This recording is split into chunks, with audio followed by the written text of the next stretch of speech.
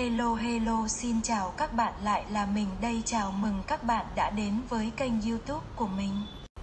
Chúc các bạn một ngày mới tràn đầy năng lượng. Hôm nay mình sẽ vẽ A sử, họa quyền A, A hỏa chảo, Bogart DA, đội trưởng đội 2 của băng hải tặc dâu trắng cho các bạn xem nha. Đó là cách mình gọi tên nhân vật này. Còn các bạn các bạn thích gọi bằng cách nào hơn vui lòng comment phía bên dưới để cho mình biết với nha.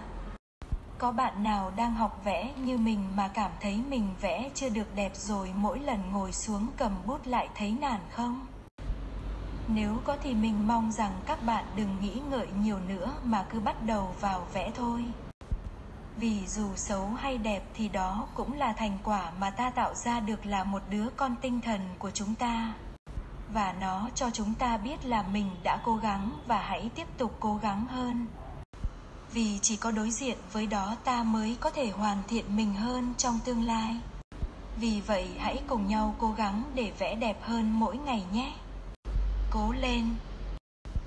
Chúc các bạn tận hưởng video này một cách thật vui vẻ nha.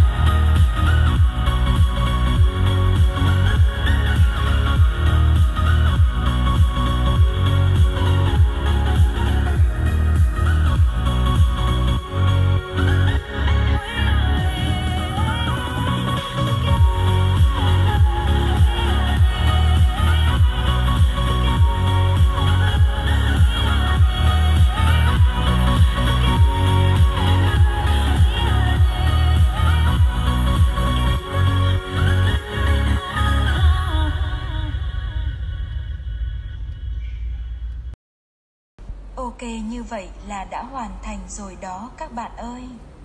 Như mọi khi nếu các bạn thấy hay thì hãy để lại một like, một share và một đăng ký kênh để không bỏ lỡ những video mới nhất của mình nha.